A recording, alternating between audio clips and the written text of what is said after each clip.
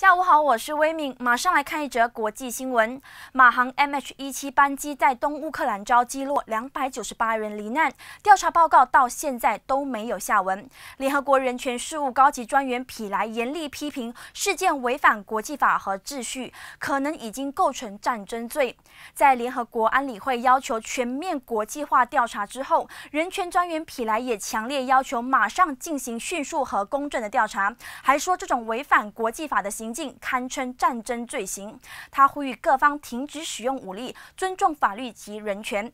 另外，联合国指出，乌克兰东部出现武器扩散问题，政府军及叛军都利用火炮、坦克等重型武器攻击平民区，尤其是东部地区交战数月，情况令人担心，要求立即停止战火，勿伤及无辜。